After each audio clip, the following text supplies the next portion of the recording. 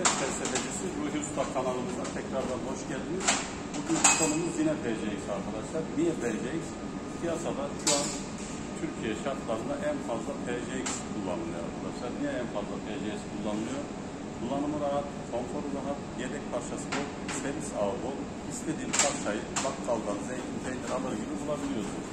Örnek verecek olursak arkadaşlar 50-60 bin kilometre yapmış bir motor şu an kalkışta titreme vesaire var. Şimdi diyeceksiniz ki ya PCX PCX diyorsun ama en çok arızayı PCX yapıyor diye düşünebilirsiniz.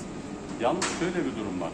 60-70 bin, 100 bin kilometre yapan PCX hala ayakta duruyor. Diğer taraftan 5-10 bin kilometrede ki motorlar, Çin Çant'ın aldığımız motorlar daha 5 bine gelmemiş arıza yapıyor.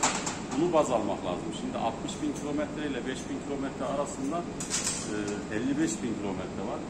Motor da tabii ki kullanılıyor. Kullanıldıkça parçaları yıpranacak. Bu bütün motorlar için geçerli. Şimdi ben bir motoru alın almayın derken önce yedek parça ağı vardır. İstediğiniz parçayı bulabiliyor musunuz? Buna bakın dememdeki amaç şudur. Motoru sürekli kullanıyorsak yıpranacak. Yıprandıkça parça ihtiyacı duyacağız. Bu parçaları temin edemediğimiz zaman motorlarımız yatan hasta olur ve motora binemeyiz. Sezon kapanır. Şimdi bu motorda e, kayış değişmiş.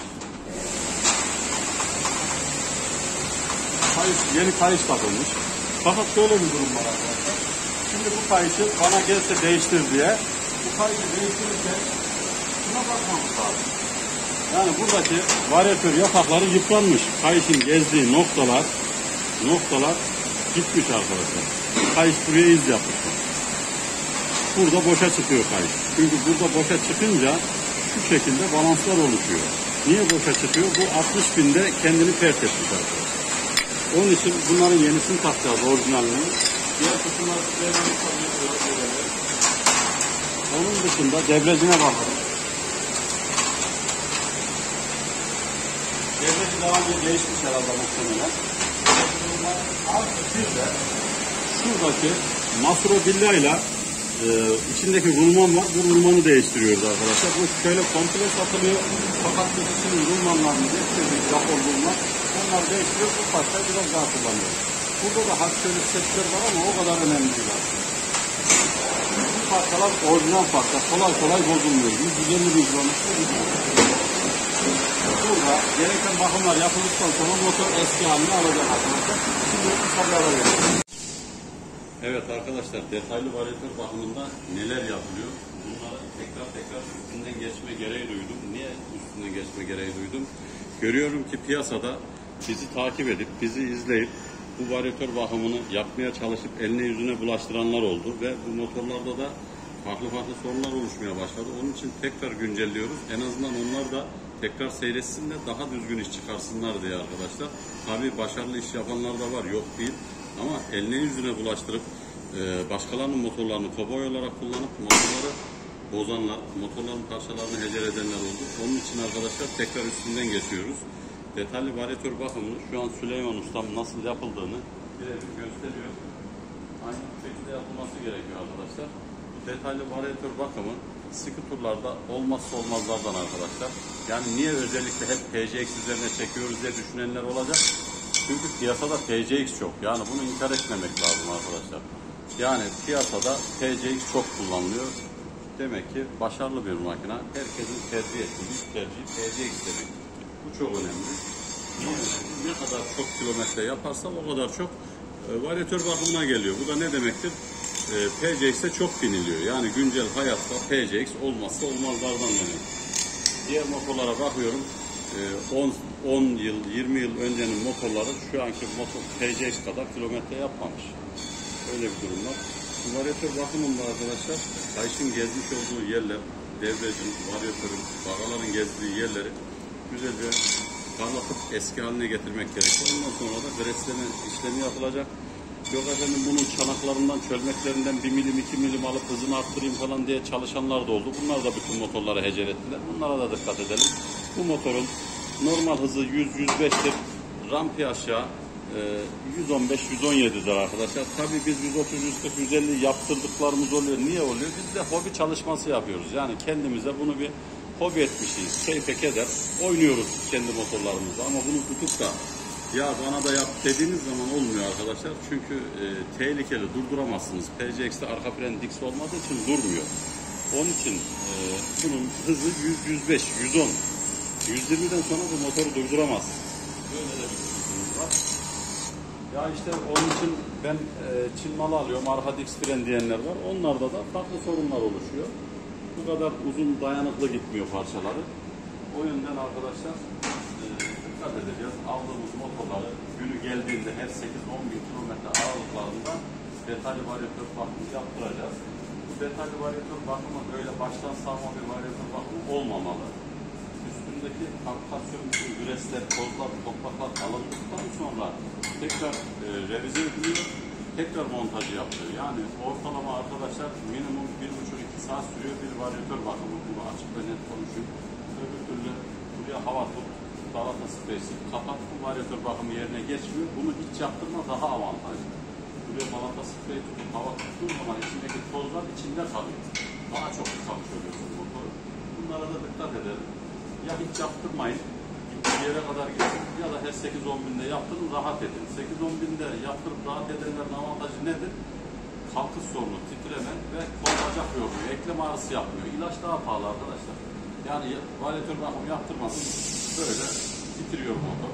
Elin, ayağın, kolun, bacağın yoruluyor. Hele bir de kuryelik yapılıyorsa yorgunluktan kalkamıyor. İşe bile geç kalanlar olmuştur yani. Onun için e, her 8-10 bin varyatör bakımı yapmadan tüy titriyor, gaz veriyor gibi kesiyor duruyor. Tempolar çok güzel. Sımalamalar güzel, dalmalar güzel. Yani daha ne olsun arkadaşlar? Yani adamlar yapmış işin gerçeği. Durum bundan ibaret. Onun için varyatör bakımlarında arkadaşlar dikkat edeceğiz. İlla bize yaptırın demiyoruz. Bu işi düzgün yapan, kafanıza göre keşfettiğiniz ustalar olabilir. Türkiye'nin değişik değişik illerinde. Bunlara yaptırın. Hatta bizim videolarımızı seyrettirerek aynı bu şekilde yapın diyen takipçilerim de oldu. Bunlara tepki gösteren ustalar vesaireler de oldu. Çünkü zaman alıyor. İnsanlar alışmış hazır para kazanmaya.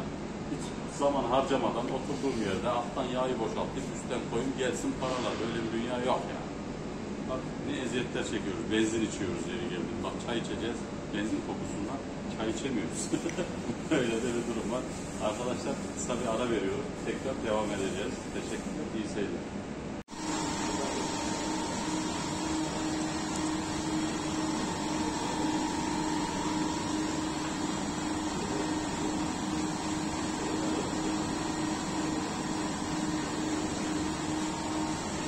Varyatör bakımında yeni parçayı yapmaktan ziyade bu parçanın nasıl takıldığı, hangi işlemden geçtiği de önemli arkadaşlar.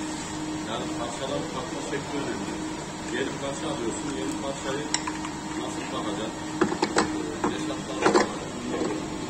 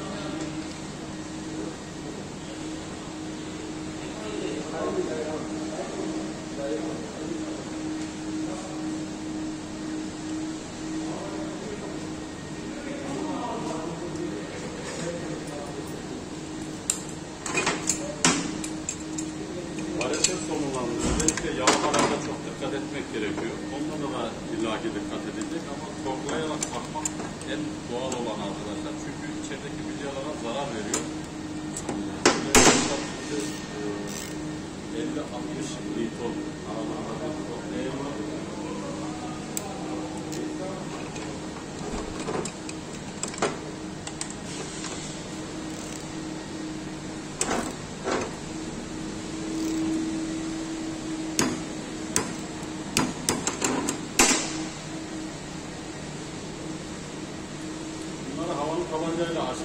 baktığınız zaman e, içerideki rulmanlara zarar veriyor. Ona dikkat edelim.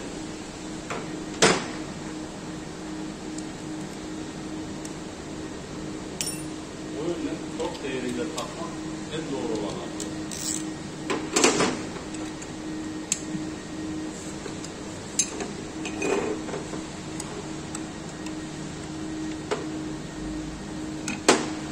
Tekerini şuradan bakalım.